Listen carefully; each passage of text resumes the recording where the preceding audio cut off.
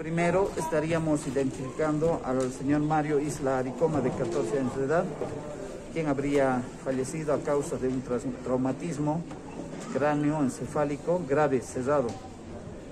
Este señor se encontraba trabajando en compañía de su hermano mayor en la mina Pailavidi, sección Bolívar.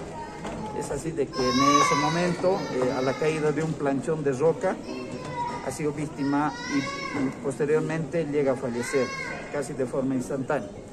El segundo caso, eh, se ha logrado identificar al señor Tiburcio Choques Ramírez, de 49 años de edad, y la causa de su muerte ha sido diagnosticada con shock hipovolémico, hemorragia digestiva alta. Se, se conoce eh, dentro de la investigación de los, eh, que se ha realizado a los familiares que esta persona había estado ya delicada hace más de seis meses con problemas pulmonares. Es así de que a causa de este trabajo de mina que se conoce, habría eh, agravado esta, eh, su situación, su enfermedad y habría llegado a fallecer.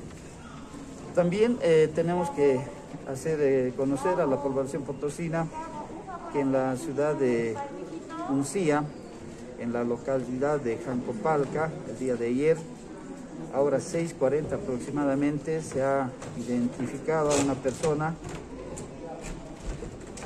de unos 60 años aproximadamente de edad, donde habría estado aparentemente a un costado de una carretera adyacente de la ciudad, ya eh, sin signos vitales. Es así de que se ha diagnosticado la causa probable de la muerte, la asfixia mecánica por estrangulamiento, y se está a la espera de la identificación a través de la autopsia de ley. De los antecedentes se tiene que esta persona habría sido vista en horas de la mañana por eh, transeúntes quienes dan parte a la policía para eh, que se haga, eh, para que se dé en este lugar y pueda verificar este extremo. Dentro de las observaciones que hace la policía en este lugar se evidencia la presencia de signos de violencia, una laceración de 17 centímetros, en el sector del cuello. También se advierte eh, algunas eh, quemaduras en la vestimenta de este, de este señor, de este cadáver. Y este caso se ha ya puesto a conocimiento del Ministerio Público para el esclarecimiento de este caso. Actualmente el cuerpo se encuentra en el Hospital Madre Obrera de la ciudad de Yallago. ¿Fue asesinado entonces, eh, coronel? Se podría decir que sí, por las características que se han encontrado en el lugar, en el cuerpo más que todo, ¿no? También eh, hacer conocer que el día de ayer se ha registrado en la localidad de Miraflores, eh, se ha identificado al señor Denis Fernández Mamani, de 23 años, eh, víctima de apuñalamiento por parte del cuñado, en este caso, el señor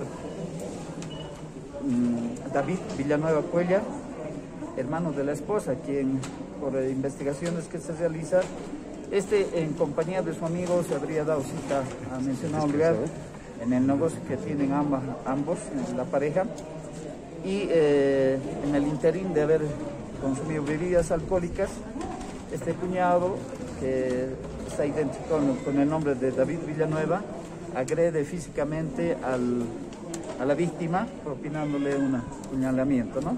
causándole una herida. Y eh, se ha diagnosticado la herida penetrante por arma blanca en la región lateral derecha. Este diagnóstico ha sido proporcionado por el doctor Jorge Luis Martínez.